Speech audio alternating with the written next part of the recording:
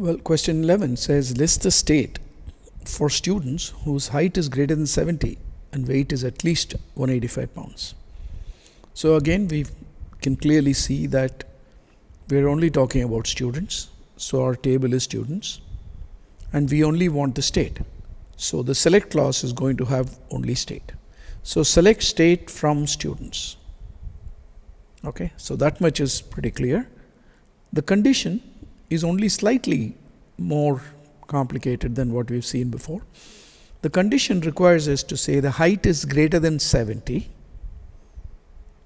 and so obviously we are going to have a where clause.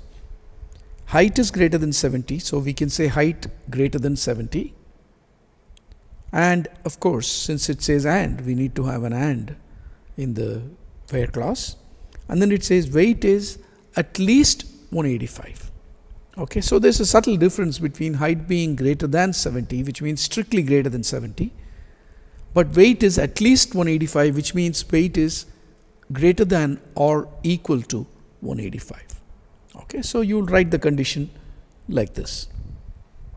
Okay now of course whether you put the weight first or the height first doesn't really matter. So you could have said weight greater than or equal to 185 and height greater than 70 that would be fine as well okay? But the whole point is to see the difference between greater than and greater than equal to. You have to be sensitive to these sorts of things when you're writing SQL or in general as well